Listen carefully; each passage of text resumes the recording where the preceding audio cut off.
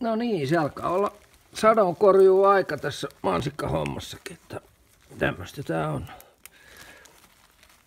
Varmaan ihan kauhean mukuisiakin.